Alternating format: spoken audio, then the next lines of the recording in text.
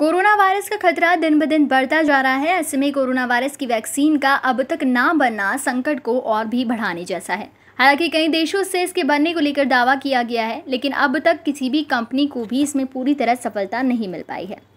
ऐसे में भारत की ओर से अब कोरोना वैक्सीन बनाने का दावा किया गया है। मीडिया रिपोर्ट के अनुसार, भारत के पहले स्वदेशी कोविड 19 के टीके को भारतीय औषधि महानियंत्रक से इंसानों पर परीक्षण करने की मंजूरी दे दी गई है।